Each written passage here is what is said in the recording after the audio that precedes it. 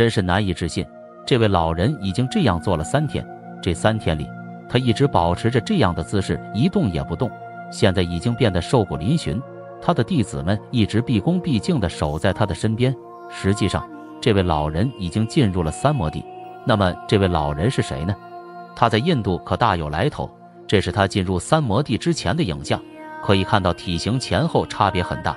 他是印度著名的一位圣人，名叫阿查里亚·维迪亚萨迦。他因长时间冥想而闻名，因出色的学术和修为而受人尊敬。就连印度总理在他面前也要顶礼膜拜。二零二三年十一月五日，莫迪亲自去拜访他，并接受他的祝福。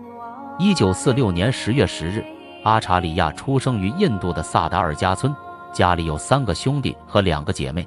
他的姐妹们也像他一样选择了一生独身。阿查里亚从小就热爱学习和画画。一九六八年，二十二岁的阿查里亚接受了一位僧人的启迪。开始了非常严格的苦行生活，一个人徒步穿越了整个印度。阿查里亚从来不喝牛奶，也不吃豆腐、蔬菜和水果，只吃土豆和烤肉。后来，他发誓要成为一名素食主义者，变成了只吃土豆，甚至盐和油也不吃。每天他只喝一次水，用手指接水喝。吃饭也是一样，每天只吃一次。他将食物放在手掌上，一次一小口。睡觉时。他从不用床铺，直接睡在地板或木平台上，没有任何床垫或枕头。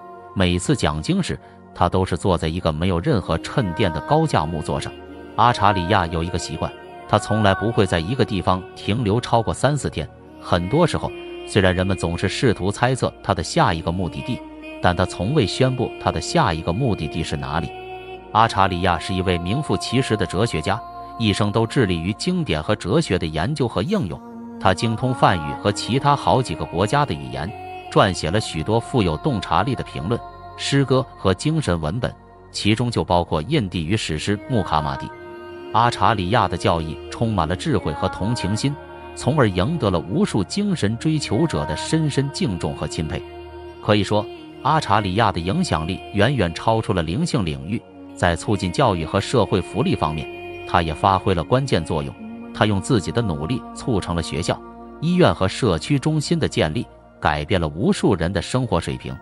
二零二四年二月十八日，阿查里亚进入了三摩地。当得知他离开身体后，很多人不约而至，想看阿查里亚最后一眼。印度为他的离世进行了半天的默哀。印度总理莫迪将他的离世描述为印度不可挽回的损失。莫迪说。我的思念和祈祷与无数奉献者同在，子孙后代将铭记他对社会做出的宝贵贡献，特别是他为人们的精神觉醒、扶贫、医疗保健所做的努力。